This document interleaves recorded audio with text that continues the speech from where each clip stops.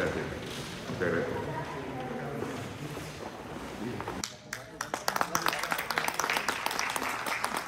La pandemia dejó en todo el mundo, y en ese sentido el Perú es una excepción, dejó al descubierto las profundas brechas y desigualdades socioeconómicas de la sociedad peruana y sus efectos amenazan permanecer durante años.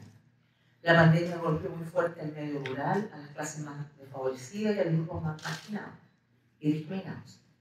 Las niñas y niños están volviendo poco a poco a la escolarización presencial después de casi dos años de cierre de, su escuela, una situación que afectó especialmente a las y los estudiantes de zonas remotas o de todas esas zonas donde no tienen acceso a Internet.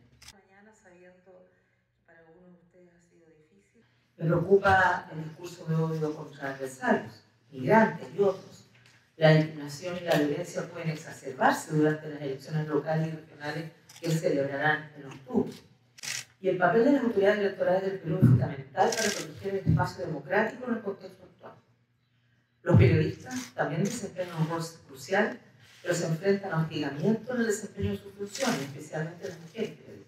Para ello insto todos los partidos políticos que actúen con generosidad y sentido de Estado para abordar los retos a los que se enfrenta el país.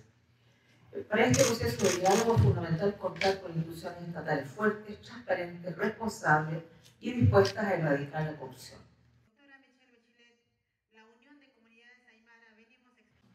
Los pueblos indígenas y las personas defensoras de derechos humanos del Perú están en primera línea cuando se trata de los impactos del cambio climático y otras amenazas, como la minería ilegal, la tarea ilegal, el narcotráfico, especialmente en la zona de la región amazónica.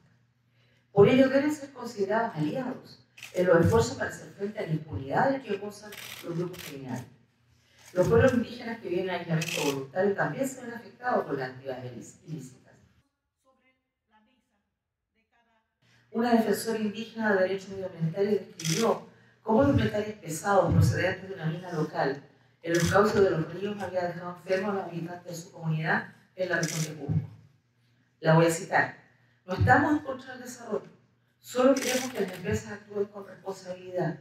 No queremos morir, queremos vivir, nos dijo. Animo a las autoridades a que colaboren con la sociedad civil para contrarrestar los altos niveles de violencia doméstica, la barrera de acceso a los servicios de salud sexual y reproductiva, la discriminación basada en actitudes sexistas y estereotipos de género y los índices desproporcionados de mujeres y niñas desaparecidas. Y esta semana en el Perú he sido testigo de la resiliencia y esperanza de quienes buscan la verdad y la justicia por las violaciones que han sufrido. Tuve ocasión de hablar con una mujer que me contó que cómo fue engañada y esterilizada a la fuerza, y décadas después aún no ha recibido justicia. Ella era una de las miles de mujeres y hombres, en su mayoría rurales, pobres y quejohablantes, que sufrieron esta violación de su derecho humano. Los lugares como el Ojo que llora en Lima o la Hollada en Ayacucho honran a las víctimas y ayudan a superar el pasado. Las víctimas de las protestas de noviembre del 2020 también han mostrado una fuerza similar en la búsqueda de justicia. Un joven en una de esas reuniones lo dijo claramente. Mi generación está harta de la impunidad. Basta.